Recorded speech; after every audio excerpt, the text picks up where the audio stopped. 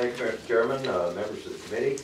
Uh, Thank you for uh, hearing uh, our legislation today. This is uh, Senate Committee Substitute for Senate Bill 29. It deals with uh, labor organizations and particularly, this bill is known as paycheck protection. And what it does is it bars public employee labor unions from withholding fees from public employee paychecks. The act requires the public employees' consent for public employee unions to use fees and dues for political purposes. Uh, So the employee is kind of in charge. Uh, They must authorize the amount to be used for political contributions, and uh, they can also siphon what committee uh, will be paid. And uh, so uh, authorizing or refraining from authorizing any amount shall not affect their employment. And the labor union must keep uh, records of all authorizations and submit them to the Labor and Industrial uh, Relations Commission. You know, uh, I kind of relate this somewhat to I do, what I do as a, as a real living, and that is practice veterinary medicine. And when we do something uh, to a person's animal, we have a, an agreement called informed consent that they have to sign off on. I have to inform them of what I plan to do, uh, very closely as possible, what the costs are going to be. And I feel that uh, uh, this falls kind of under that category, uh, informed consent. Uh, That employee should know uh, how much money is going to be withheld, where it's going to be spent, and have some control over what gets done. Uh, We specifically, in, in this legislation, uh, left out first responders and uh, uh, subdivision three of section one ninety-two point eight zero zero uh, as uh, not having to apply to this act. And I would like, I will try to answer questions that anyone may have. Thank, thank you, Senator. Questions of the Senator? Senator Ryan? Thank you, Mr. Chairman. Senator Silver. Christine Clark. Um, So I've looked over your sub, and I do have some questions. Okay? Um, I guess the first, the first question, from a policy perspective, is why are we prohibiting the ability to um, payroll deduct dues? I mean, the, the first, like, like, why, are- why are we prohibiting it as opposed to making it an option? If we really want the individual to be in charge, shouldn't they have the option to choose whether they want to deduct it from their check or not? They do have the option to choose to do that uh, with what uh, is in place. I think what it does, it keeps the state of Missouri from banking for a union. Don't we do it for a number of charitable deductions though? Can't we payroll deduct all kinds of stuff if we choose to? Yeah, There's a few of them. So then why would we draw a distinction? Uh, I think because these probably play more in the political process than some of the charitable stuff. Okay. Um, So, are, uh, under the current system, they can, but under, under your sub, you know, one oh five, five oh four, section one, it says that no sum shall be withheld, so, we, I mean, would we be able to, to make that an opt-in? If the worker decides they want it withheld? My understanding is that they can, uh, that that can occur now if they want to withheld. This simply gives them the choice if they haven't gotten that. Maybe, maybe I'm misunderstanding because your sub is what would be the new law, which then says no sum shall be withheld. Um, So your sub would then change the law to make it to where you can't withhold. I'm simply asking what's wrong with the status quo if the, or maybe we want to make it, if, if you're not happy with the status quo, maybe we want to make it um, a more, um, more of a, a choice that's paid attention to in, in the enrollment process or when, when you are employed or something. I, I guess I just don't understand why we're why we're saying we want to be in control, but we're taking away options. Well, if you go over to uh, page two, uh, subsection three, and, uh, you know, there will be forms that they can authorize to have some of these things done. Well, that authorizes contribution to the political fund. Right. That has nothing to do with whether or not it's deducted from their paycheck. Well, I think. that Separate issue. What we, I, I think what we're, what we're saying is they should have the option, or, or that they should not be required to have it deducted from their paycheck, that they make that contribution themselves. Somebody in the form of consent. so. Right, and, and I'm, I'm fine with saying that they shouldn't be required to, but the way I read this is that you won't be able to. And I, and I think that's my concern. Not, be- I, I'm with you, we shouldn't require anything, we should leave it up to the worker. But I think this, the way it's currently crafted removes the option for payroll deduction altogether from the worker. And I'll work with you on that issue. And the, the bill I had before, uh, there, it did allow, uh, and, uh, my understanding was that it was still in there, so, uh, let me do some further checking. That wasn't my intent. Although I wonder sometimes why should anyone be required to withhold without prior authorization? No, and I agree, we shouldn't require them without prior authorization, but, but my, I'm just saying if, if they sign off on it and say, yes, I would like this to be withheld, that, that that should be an option for them. And is that a difference than just sending it in?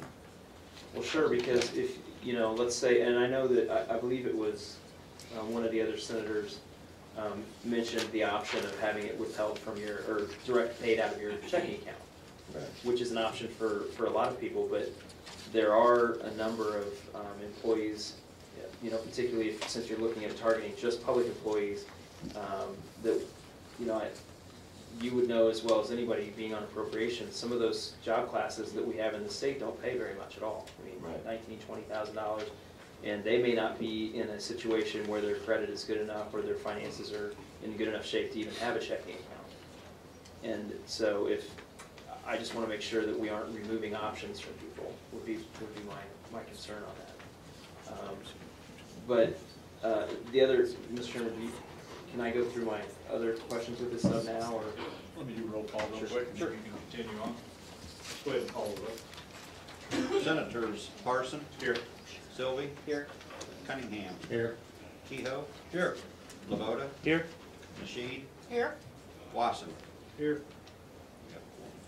Quorum being established, we'll go ahead and go into regular session at this time, and Senator. Thank, thank you, Mr. Chairman. Um, my second question is on the annual consent that's required, uh, under the substitute. Um, once an employee has consented, as far as the political dues goes, um, once an employee has consented initially to have their, uh, to contribute to those political funds, um, I guess I'm curious as to why we need to have that annual paperwork burden of consenting every single year. Would you be open to the option of a notif, like a required notification every year that, hey, by the way, you are currently contributing to the political fund and As long time as you they're can opt out? notified and they have the option of changing where they're spent. So rather than affirmatively But, I requiring mean, them The way to. that you absolutely do it is, is that you you have to inform Sure, every year. sure. And, uh, But as opposed to requiring the, the unions to collect signatures from everybody every twelve months, can we give them the option of you will inform, and you can even lay it out like you have here, so many fonts, so whatever page, just saying you are currently contributing to the political fund and you have the option of opting out at any time, and if you choose to opt I out. I would like to see what your suggestion is before I Okay. say would do or not do. Okay, I appreciate that. Um, and then, um, the, the, um, deletion of the first responders. I question whether or not that's an equal protection problem. Because if we have public employees that we're treating differently than other public employees, um, I, I guess I question what's the genesis, why did we carve out that particular job class? Uh, This uh, uh, resulted uh, with some negotiations last year that were made.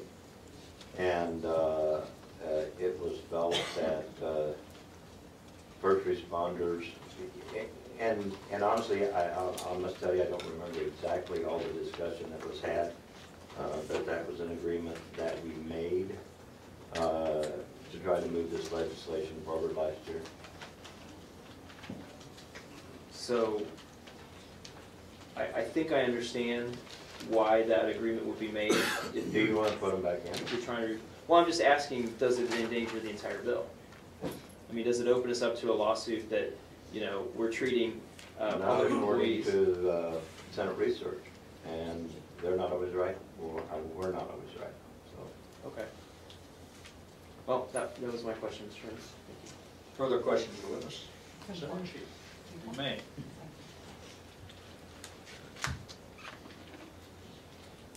Good evening, Senator. Good evening, how are you? Frank, how are you? Good.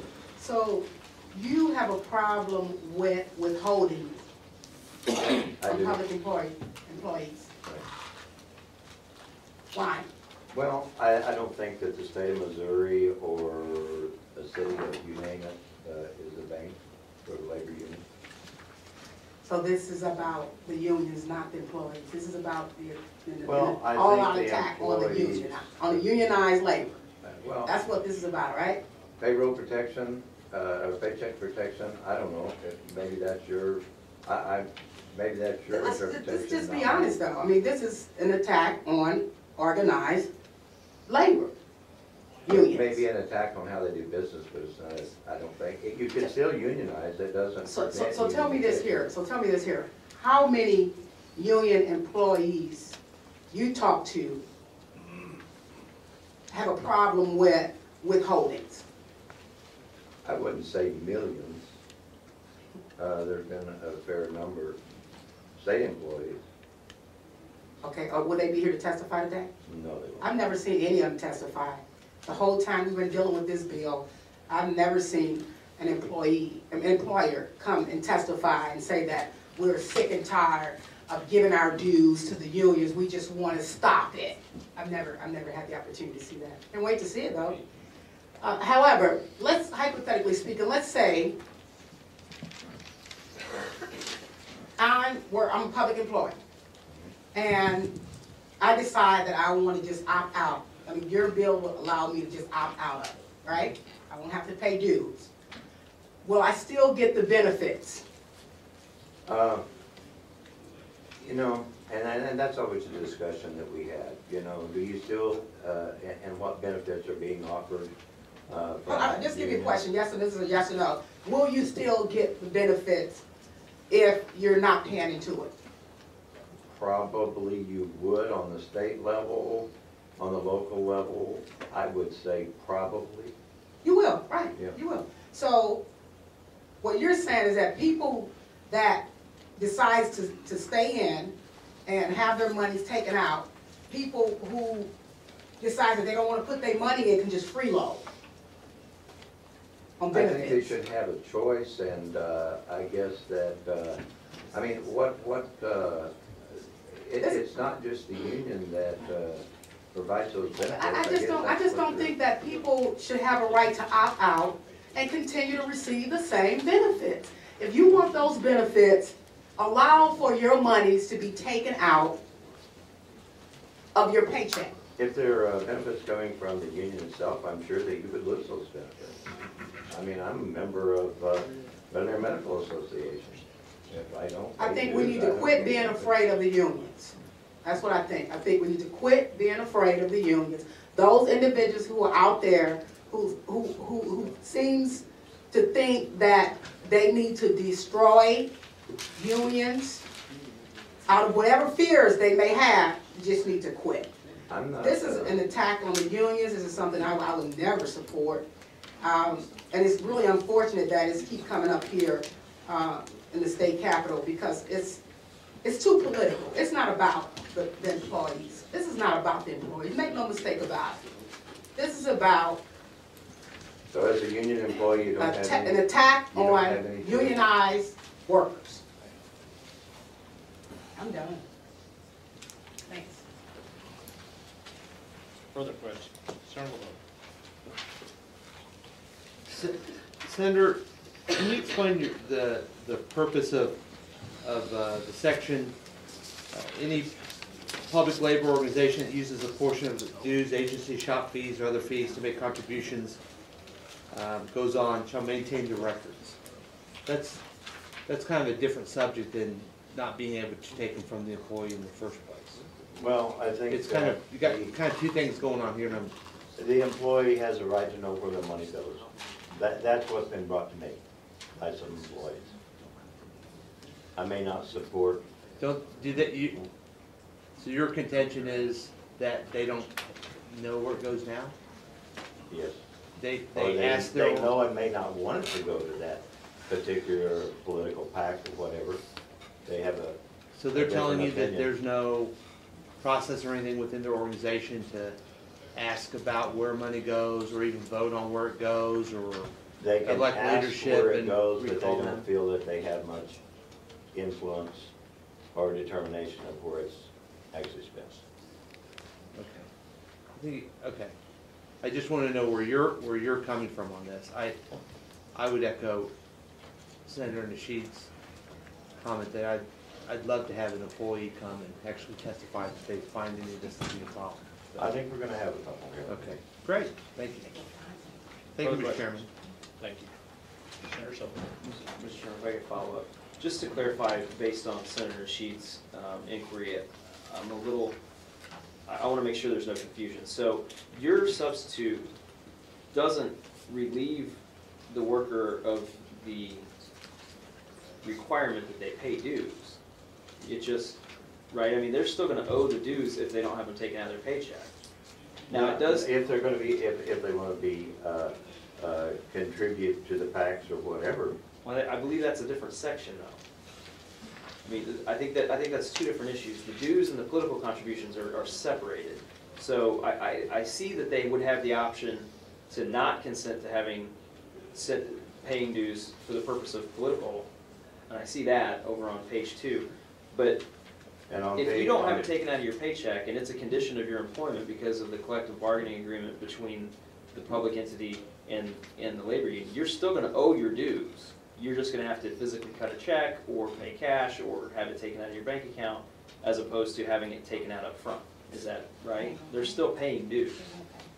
Uh, It says, "No, s- no sum shall be withheld from the earnings of any public employee for the purpose of paying any portion of dues, agency shop fees, or any other fees paid by public employee members right, of and a that, public labor organization." and that addresses the collection up front, which now happens through payroll deduction. But it doesn't say that you're no longer required to pay dues, if that's part of the collective bargaining agreement. I mean, you still have to pay those dues, don't you? Uh, I would say probably under, under the present uh, labor organization that uh, if you say a member of the union, you would, and I guess if you're employed as a blanket employment, that you would have to pay dues. So the, so the sections of the bill really are, the first addresses the collection mechanism of dues and PAC funds, portions of those dues. The second gives you the option to say, I don't want to contribute to the PAC. Or you can direct your contribution to the PAC, where it goes, where it's spent. Okay. But that's separate from the collection of dues, because Right. the PAC fund and the dues are two separate. And I'm sure if you're not paying union dues, you wouldn't have a say-so on how it was spent. Right, but I'm wondering if, so if, if, let's say I'm a union, em- a, a union worker in a public sector union, and no longer is this being taken out of my paycheck, the dues aren't being taken out of the paycheck, and I just stop paying dues, then that threatens my employment status, doesn't it? Not, I'm uh, still required to pay the dues. Uh, In the state of Missouri, I don't think you are. There are some of our uh, employees that are uh, union members, some are not. But it probably depends on the collective bargaining agreement, doesn't it? I don't think that uh, we have a, there was an executive order signed that allowed state workers to unionize, but not collective bargaining. Governor Holden did that. Okay. I, I'm still a little confused, but Senator, I guess to clarify this for the time being, you- you're okay with the Portsmouth Center, so we'll be trying to I'd be glad to. I'm glad to know that you have come an interest some and, solutions uh, and talk about this a little bit more. Yep. But I don't think, uh, by all means, I don't think we're in any hurry to get this out real quick, so we'll get it ready to do if you're okay with that. I am. Senator's on. Any, any further questions? Seeing none, do you have anyone to testify? I think there's a couple of people in that. Anyone to testify in support of Senate Committee Substitute, Senate Bill 29?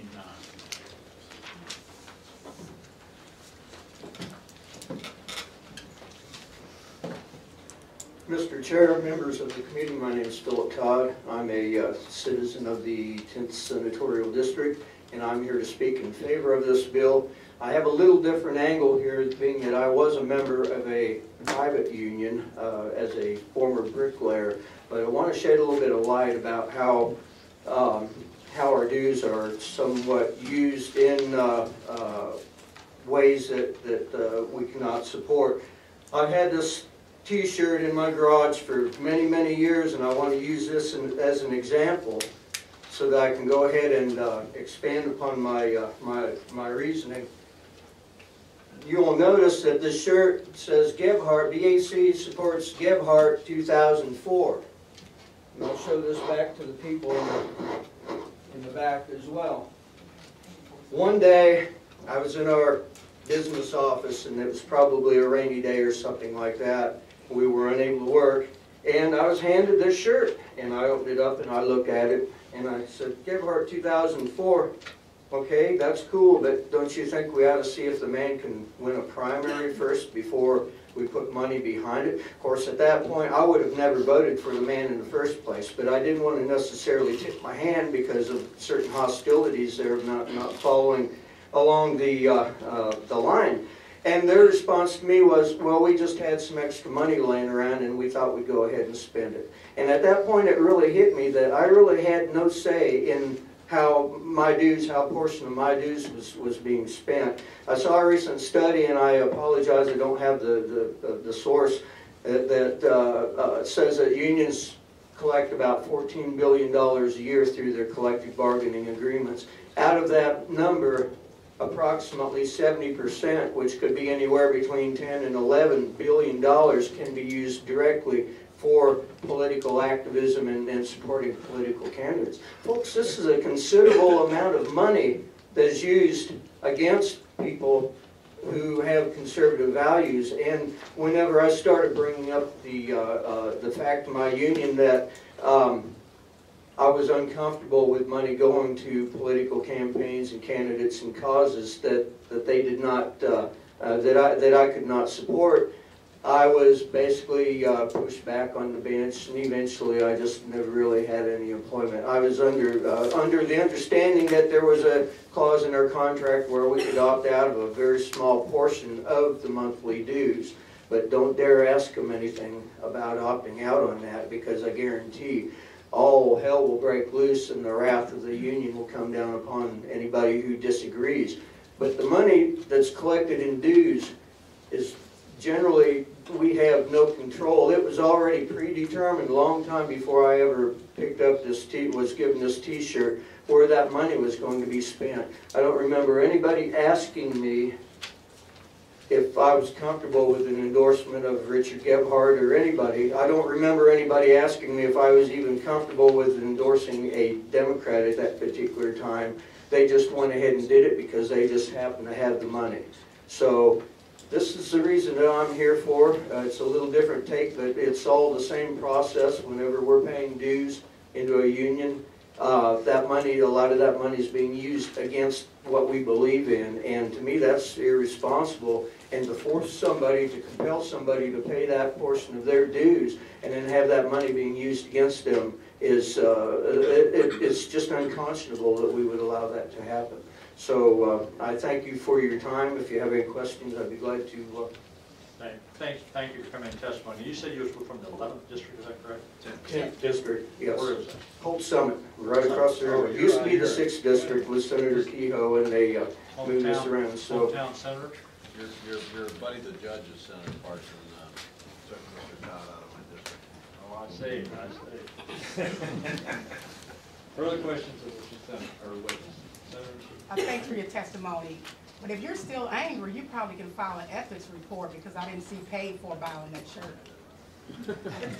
That's very possible. I hadn't really thought about that, but I'm no longer a member of the union. I uh, eventually moved ahead and, uh, uh, you know, uh, and uh, developed other business opportunities. But uh, the thing was at that, at, at that point, whenever they started handing these shirts, I started realizing that I wasn't in control of any of the portion of dues. And the thing is, if, if ten or eleven billion dollars of, of this fourteen billion dollars a year is, is being used for political causes, and it looks to me like the dues, uh, the dues that are actually needed to operate the locals and the benefit programs and things like that could be reduced significantly. So, um, I, I just want to make that point.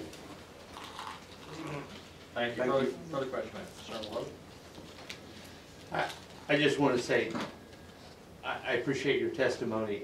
I can relate being in, in an organization where the minority's voice isn't heard and, um, um, they're, they're, they don't get any say whatsoever. I spent eight years in the Missouri House, so I understand. Thank you. It's a new day in the Senate, though, Senator. Yeah, Senator Sullivan.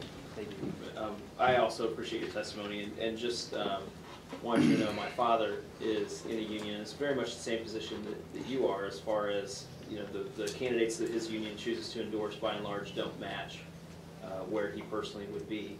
Um, but this bill, uh, doesn't, it only affects public sector, so is this something you would like to see extended to everybody?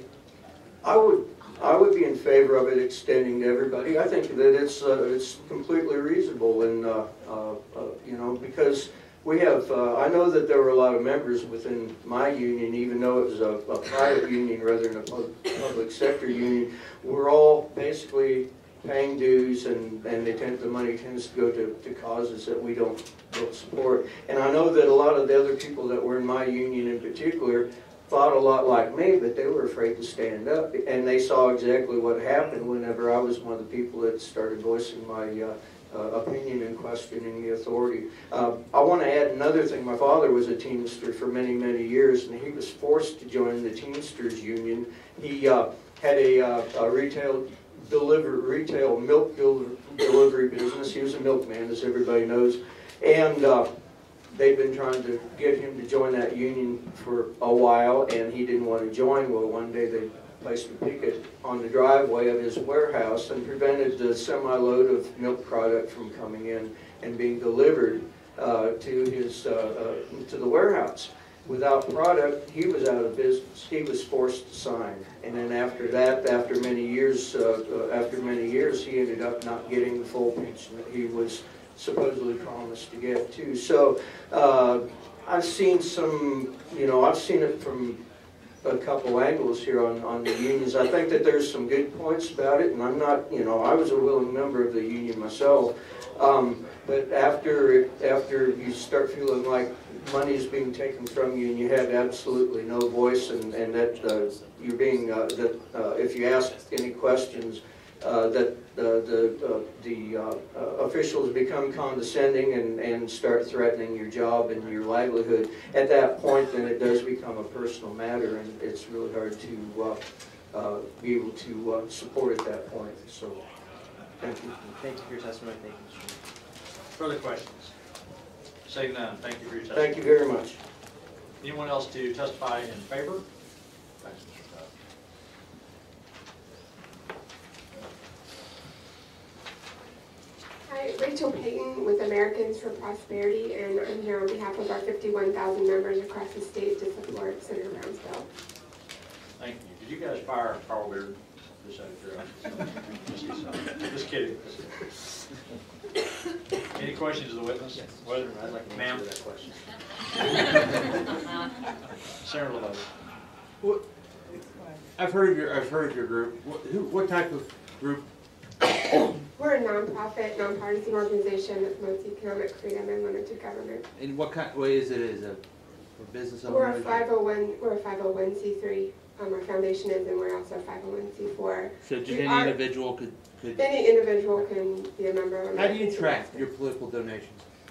How do you let your members know when you make political donations? Um, we don't make political, do- we're a five oh one C three, so we don't make political donations. We don't receive them. How do you let your members know when you Our members. spend your let- money? Our members let us know what types of political, um, what, what political and legislative agenda they want us to follow. Um, we don't. And if someone disagrees, how do you handle that? Um, they take their money elsewhere, they won't donate to our organization. Okay? That, so if they don't agree with it, they just leave? You don't have any structure in there to try to determine what your organization's, um, um, process should be? If they disagree with, with what the majority of our members have set up, have set. How do you decided, determine what the majority of your members believe? We ask them and then they tell us. Okay, so the, you go with the majority, Yeah, okay?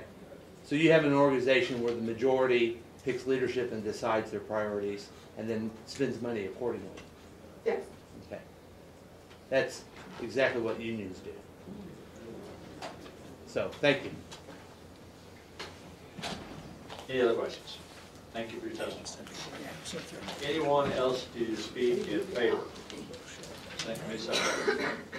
Seeing none, anyone to testify against? Seeing none, no, just kidding, just kidding. All those that are opposed, you may start testifying, in whatever order you like.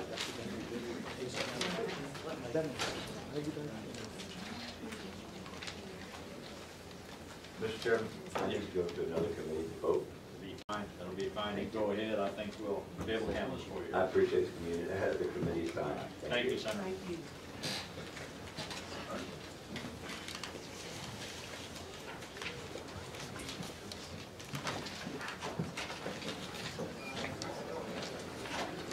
Thank you, Mr. Chairman.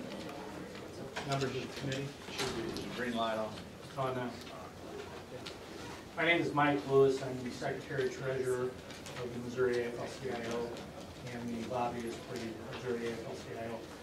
Um, I'd just like to say that payroll deductions for both dues and PAC contributions are an agreement reached between the employer, the union, and the employees.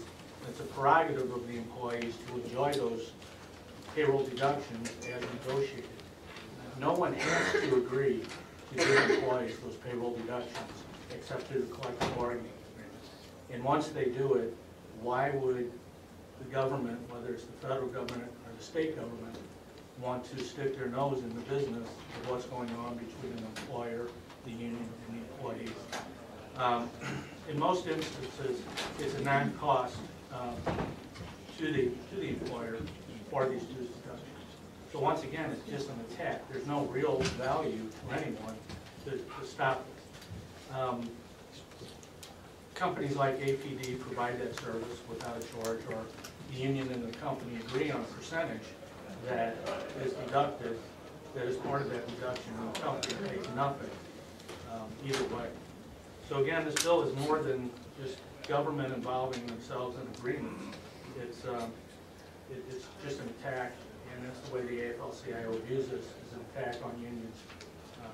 Just starting with public sector employees, and we're, we're concerned that it's gonna bleed right on through. And I'll be happy to ask any, answer any questions. Thank I'd like to ask some. Thank you for your testimony. Any questions or witness? Seeing none. Thank you, Mr.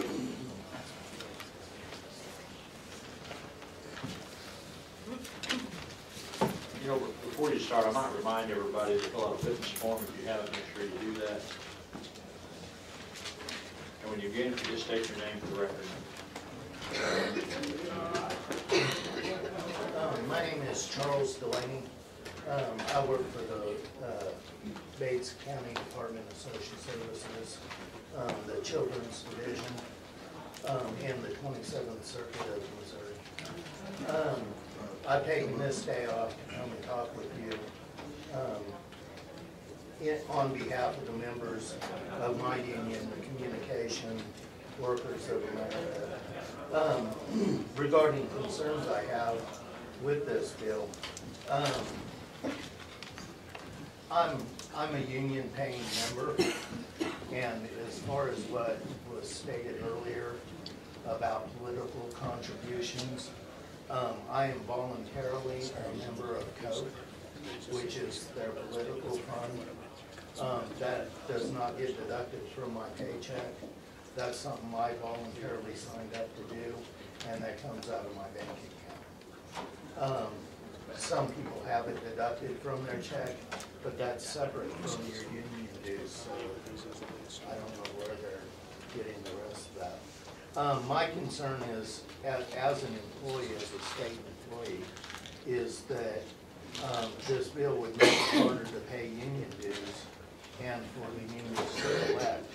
Um, I feel like this bill is singling out unions, um, and it's excluding first responders. I'm a child abuse and neglect investigator. My job is to go out and I'm usually the first one on the scene. Does that make me a first responder? And should that exempt me from this bill? I think not. Um, and as far as any consent, um, signed consent is established by, um, opting to sign that piece of paper, taking your dues out of your check. But that goes towards your union fees.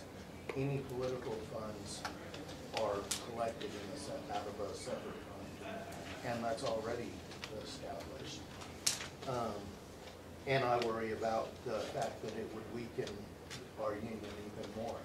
Um, working for the state, um, we have employees that are union, we have employees that are non-union, um, and that's your right. Um, under, uh, our union contract under law, um, regardless of whether they're a union member or not, they still have some of the same benefits that I do, whether they're paying members or not. Um, Another question I have as far as this bill is um, if they're going after stopping us from being able to pay our union dues um, through our, through deductions out of our paychecks, are we gonna go after other entities such as charitable contributions that we give and all that, that go to a certain political party? Um, there's absolutely no good that can come from this bill except to make things harder for workers and the unions that represent them. I thank you for your time. Oh, you have any questions? Seeing none, thanks for coming in for your testimony. Where'd you say you came, where were from? Um, Bates County, Butler. Bates County. Yeah, I live in Cedar County. Cedar County, that's a pretty good county, I like Cedar County. Yeah. Thank you for your testimony. Appreciate it. Anyone else in opposition? Hi, Good afternoon. um, my name is Stephanie Huffman, I live in, I work uh, for Boone County Child Support.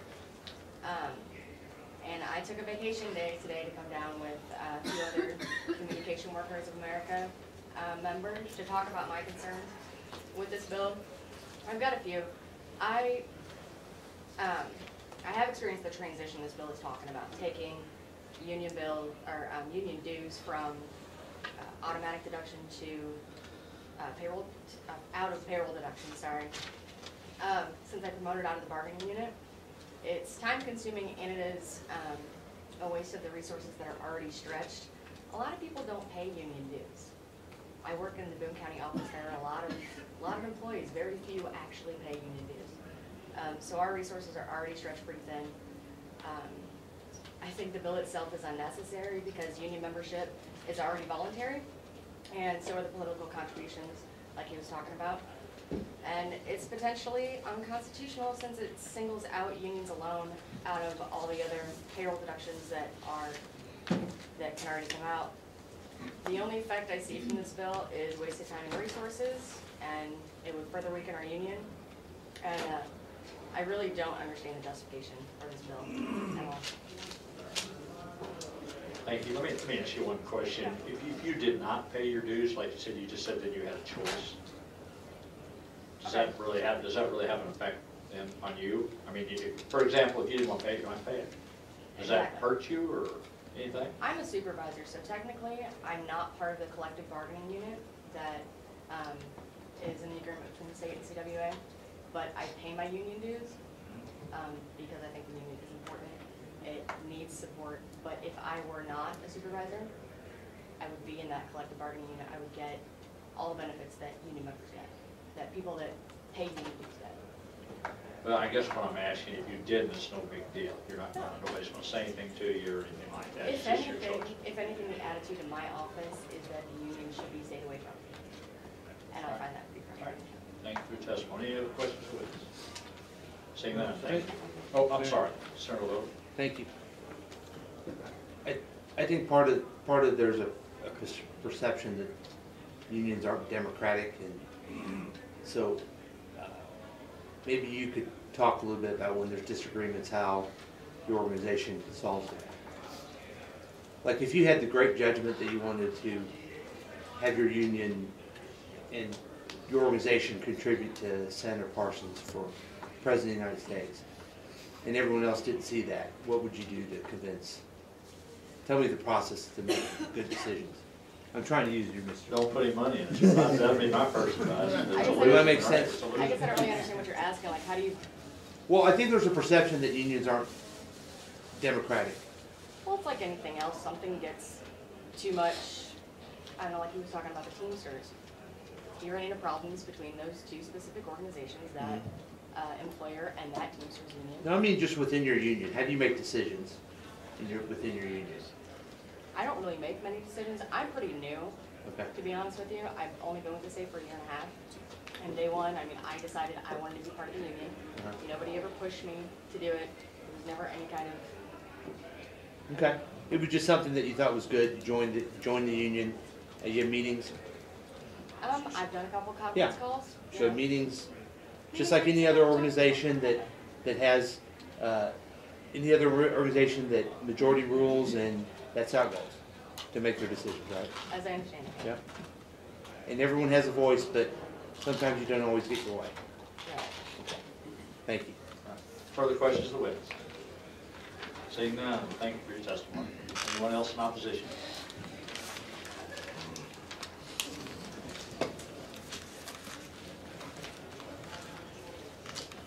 Chairman, members of the committee, uh, Bajan, uh, speaking on, speaking on behalf of Missouri NEA, I'm also uh, turning in a form for Richard Martin on behalf of the American Federation of Considering Opposition as well.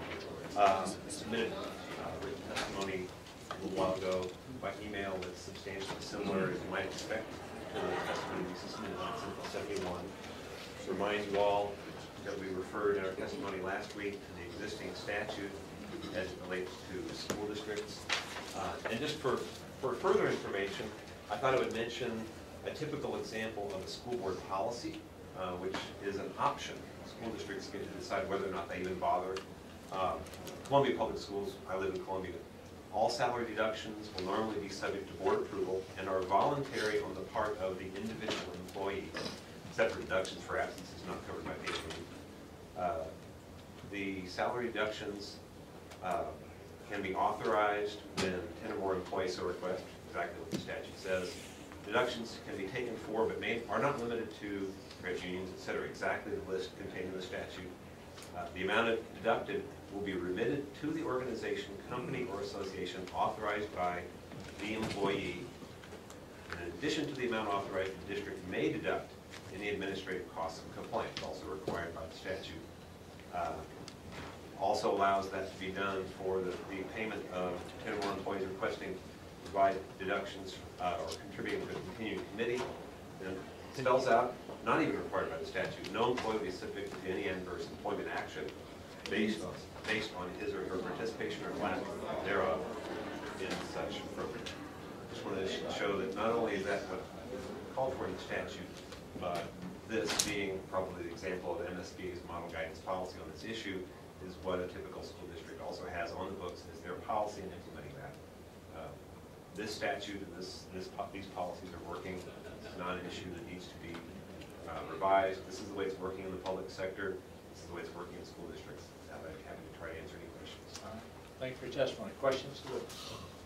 Seeing none, thank Thank you. you, Mr. Chairman. Anyone else in opposition?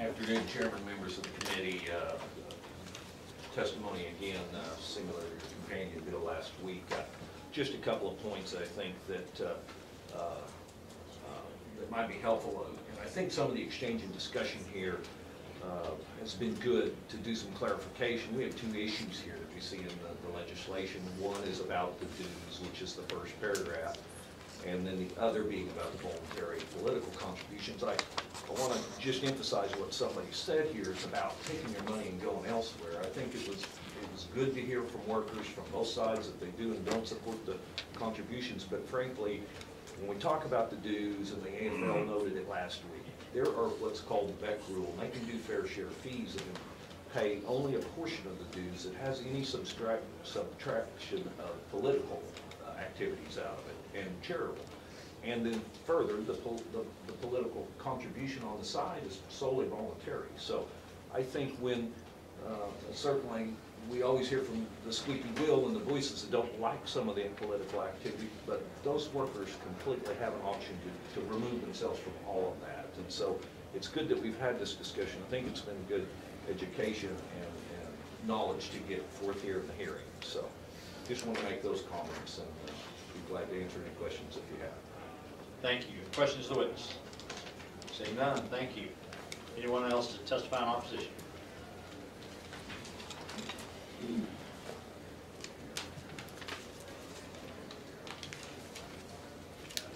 Mr. Chair, honorable members of the committee, here to testify against bill for myself, and ITO Worker District eleven, and Scott Ramshaw, plumber, pipe fitter, local five six two, St. Louis.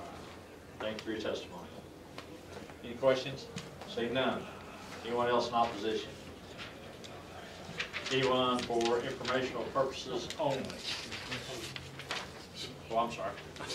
Do you information or opposition? Opposition, Mr. Chairman, members of the committee, me too. Thank you. Same time. One, me too. All right, anyone for informational purposes? Seeing none, that closes the hearing on Senate Committee Substitute for Senate Bill 29.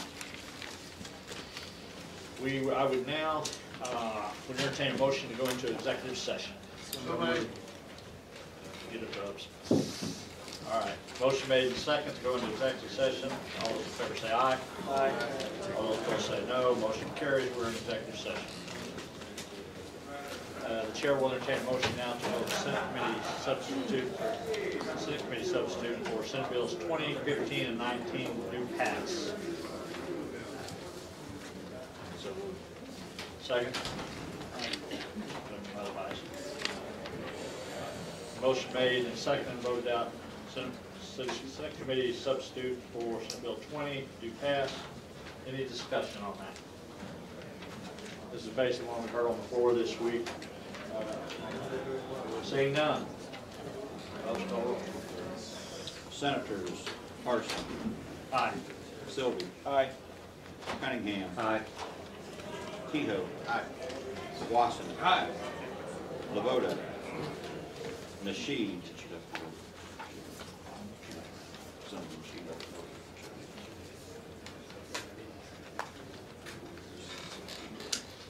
By your vote of six ayes and zero noes, you have voted out Senate substitute, Senate Committee substitute Senate Bill 20 to pass. The other thing I'd like to remember, uh, remind the committee tomorrow, we will also be going into executive session in morning at 9 o'clock. We'll be in the Persian Conference Room, and we will be basically exacting out on the sports bill we heard this week. That being said, that concludes the hearing.